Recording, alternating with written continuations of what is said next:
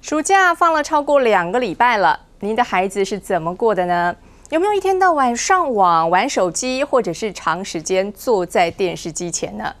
其实已经有研究证实，这个世代多半时间都躲在室内的孩子，他们的情绪、健康都出现了问题，创造力也跟着下降。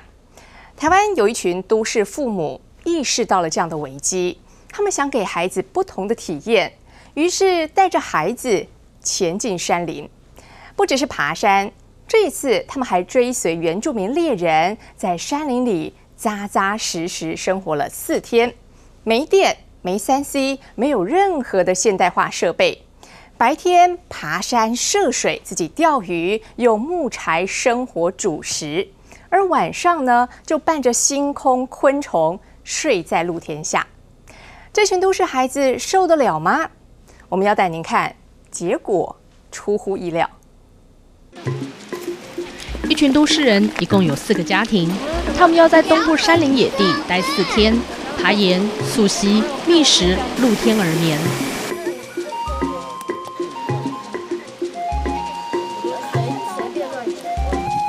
在野性的环境中，这些爸妈想给孩子不一样的生活体验。这是孩子们四天前刚参加的样子。先上了。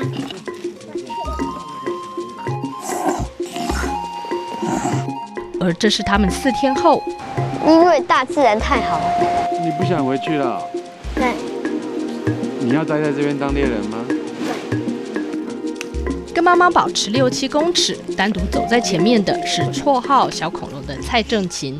六岁的他是这次亲子猎人活动最小的孩子。在家里啊，他除了吃以外，就是看电视。或者是打一些电玩具，参加我们所有的家庭或户外活动，他都是抗拒的，坐在车上不肯下来啊，走两步就要回去啦，他坐在车上了。恐龙爸爸说的其实是现在多数都会小孩的写照，他们生活中少了一样你我或你我爸妈熟悉的东西，叫做自然。脚步尽量小一点。而林正汉是这次活动的头子。带大家跟着原住民猎人脚步回归祖先的山林老家。我们可能没有很自式的教学，可是你那种创造出一种氛围，让大家觉得哎轻松自在。林正汉是高山向导，因为参与了台湾黑熊研究和布农族资深猎人魏友仁建立了亦师亦友的关系。你跟着他们进来，你就会完完全全的放心，然后你知道他们。对这个环境是最熟悉的，所以我跟他们，我也完全不知道这个点是哪里，然后我们明明天要住哪里。的确，接下来四天没有固定地点，没有预定行程。不过还好，我们至少知道第一天要去的是哪里，就是进入山里。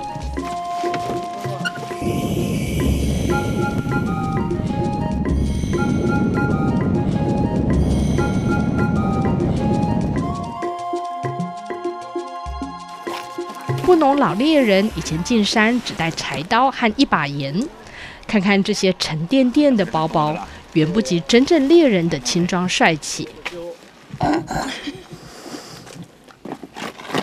以前有在野野外便便过吗？没有，没有。那你不要拍这个吧。我们还是留给小恐龙一点隐私吧。不过，恐龙妈妈愿意带这么小的麻烦精来，其实跟恐龙姐姐蔡玲两年前的经历有关。当时她也是六岁。那我一直印象中很深刻，是她那天回家，然后跟我讲话讲到很晚，就跟我说，她觉得古道上早晨早晨的时候，那个阳光透过树林透下来的光非常的美，还有她看到百步蛇的幼蛇，她也觉得非常的美。就是他不会有对自然的恐惧，可他看得到那个美的部分。那我觉得那是一个我很想给小朋友的一个一个礼物。近年来，许多国外研究已纷纷证明，自然对孩子创意、自信、快乐有着不可或缺的关键角色。现在的孩子们可能是第一个寿命比父母短的世代，他们活动力越来越低。情绪障碍却越来越多，但在自然的环境下，同年龄的孩子不仅交起了朋友，甚至还主动亲近陌生的长辈。五年级的光言跟爸爸一起来参加，但这一刻他听着、观察着陌生的原住民哥哥叔叔说话，身边没有爸爸，看起来却很自在。休息完，在天色变暗之前，得赶紧下切今晚要过夜的溪谷。好不容易抵达溪谷，但我们的辛苦看在资深猎人眼里，却完全不合格。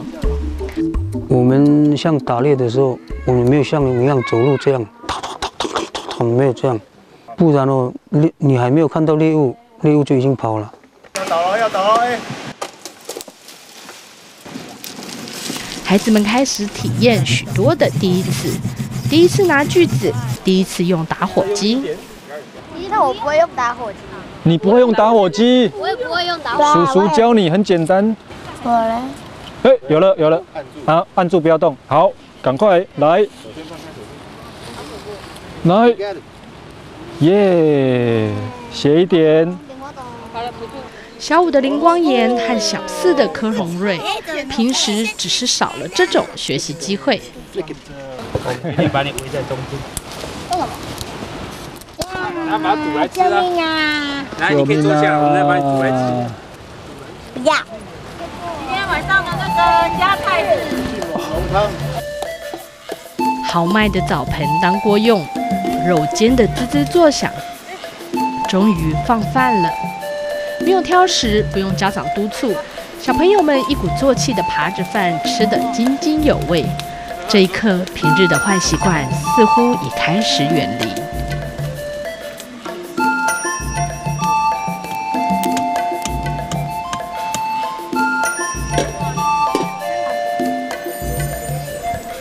一早，小朋友被这烧烤香气吸引过来，围一圈，认真地看着。小恐龙和姐姐蔡琳一早就相亲相爱，似乎昨天睡得不错。但对光爷来说，只有天帐的开放环境却令人害怕。没有帐篷睡，就这是第一次，哎，有点恐怖啦。第一天睡觉的时候，我一直也是拉着我的手，哎，爸爸要 要要牵着我，要这样这样，因为其实没有单独在野外生活过，其实蛮恐惧的。准备一下，准备一下自己的碗，快快点，先不要丢武器哦。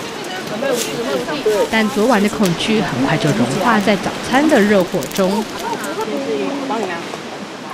诶，我们今天会过溪，然后到对岸的老部落去，然后我们会在上面可能会做陷阱吧，然后看瑞大哥会不会教他们生火。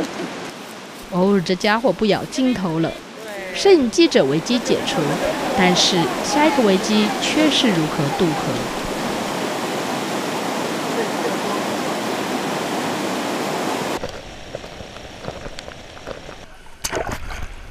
冰冷的水和滑溜的石头，惊险的过完这一关，还有一关。对，就是要爬上这面简直就是垂直的峭壁。你会不会怕掉下去死掉？会，就是如果你踩上去，你脚会跟那个石头就会滑下去。跟如果那个固定的石头的话，呃，你还可以爬上去。一次的经验，小二的柯一梦已经学会走陡峭板岩的技巧，甚至比他妈妈学的还快。可以把我的脸 PS 掉吗？It's better, better than from behind.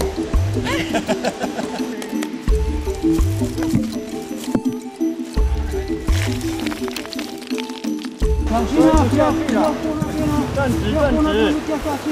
我们其实也在观察每一个小孩子、每一个人的状况。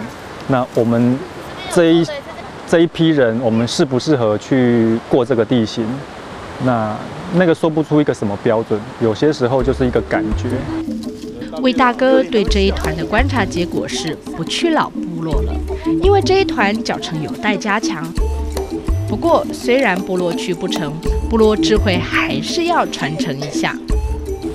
来哟，来看陷阱哦，来了哦。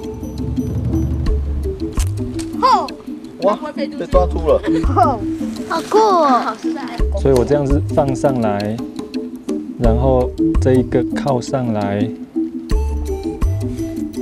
靠住，所以它其实就是动物踩到这边，对不对？它会把这一根往下压，往下压的瞬间就启动了它的机关。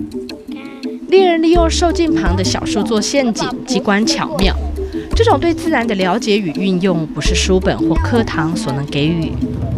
恐龙可以喝两口，有一口给爸爸。有有有，还有一口，还有一口。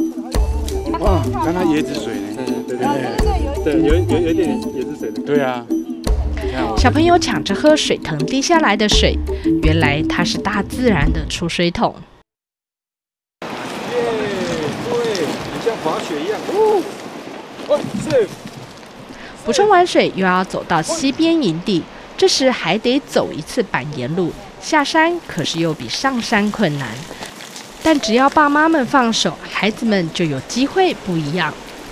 其实我也蛮惊讶，因为像他今天出门的时候走的那么害怕，可是他下山的时候可以那么勇敢。跌倒，我是觉得一个是很好的体验啊，我不会反反对说他跌倒好不好这样子。对，跌倒才能够爬起来。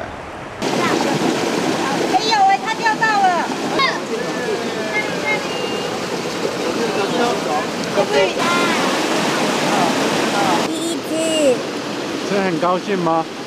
可是你怎么看起来有点怕鱼？我怕我怕鱼掉到我身上。一只只苦花被钓上来，孩子们第一次替自己餐桌提供食物。生火烤鱼也是一整天下来悠闲的时刻。有这么大只哦，爸爸。那眼睛要烤到白色哦。我要吃的时候，这里先剥掉，吃从后面吃，往这样子去往那边。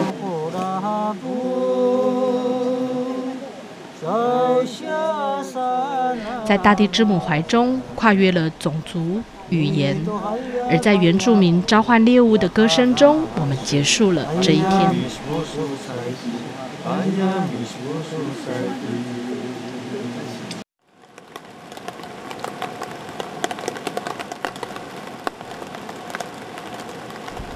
一早下起了雨，空气中满是慵懒气氛。两人一番讨论，原本答应的计划取消了，今晚留在原地，一切见机行事。然而迫在眉睫的是雨天生火。上面赶快放多一点树枝，树枝，对，让那个底下那个不要一直被雨水打到。此时，孩子们也终于愿意爬出睡袋。几天没有洗澡了。好多天，好多天啊，三天的。那你知道以前猎人有没有湿纸巾可以擦？没有，没有。对，所以根本不用擦。看来光岩很适应山林生活，还有小恐龙也是，他的改变爸爸都看在眼里。我儿子竟然睡觉睡睡，爸爸有东西咬我。昨天晚上是一只马鹿，在我们家以前看到蚊子啊，看到蟑螂嘛，不跑哪去了？冲啊！爸爸有蟑螂，给他躲起来。现在是拿灯在观察它们，其实有你可以看到有点不同。今天要沿着溪水往上游走，但下过雨的岩壁特别难爬。看来离老猎人的程度，大家还差得远呢。那现在我们要找的是比较潮湿一点的，它比较有蚯蚓。为了钓鱼，还要再抓蚯蚓。支流两侧峭壁高耸，溪谷窄，日照短，潮湿的环境适合蚯蚓生存，但就是不适合人爬。抓的蚯蚓路过这一片平坦的树林，在这里要先给孩子们第一课的考试。现在就是让小孩子自己去找材料，然后升起自己的一堆火这样子。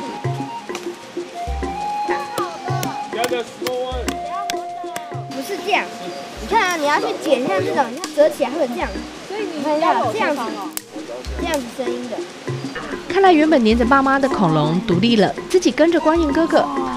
以前自己有生过火吗？没，所以我第一次。另一个展现能力的孩子是柯以梦，他已经可以教妈妈生火技巧。往下压，往下压。哦，You made you made it, but two even better. 厚重的板石砸了下来，震撼的场面让孩子们惊呼。这样子的时代，或许真的可以回头去看看，是不是有另外一种学习的模式？其实是除了。呃，课堂上语言这样的教学上的另外一种可能性，那那一种可能性很有可能是不讲话，打开你的感官，打开感官观察大人，把他们从水泥丛林中抽离，放在真正的丛林中，反而让我们眼睛一亮。应该就发呆做一些玩玩具之类，拼乐高的吧。因为反正就混过去就对了。因为你没乐高，会不会你发呆的时间要更长？不会啊。为什么？因为大自然太好了。每天他都非常的兴奋，今天要去哪里？他好像每个活动都很新奇，不再是那些电动玩具或是一些电卡通了，才让他觉得有刺激感。昨晚又下雨了，一早的山林雾气特别厚重。今天也是李英回家的日子。你不想回去了？对。你要待在这边当猎人吗？对。小恐龙小小的肩膀倔强的抗议着，不是为了玩具、零食、游戏，这一次是为了自然。好了，小朋友跟着震撼叔叔走喽。孩子们不像第一天紧跟在父母身边，他们跟上震撼叔叔快速的脚步。小孩子是这样子。我还背背包哎。反正就是第二天、第三天，慢慢慢慢，他们就习惯这个环境。第一天我就走在喂喂北北的后面。如果孩子不曾接触自然，不曾与它产生情感连结，就不可能尊重山林。这四天的经历，就是一颗种子，已经种在他们心中。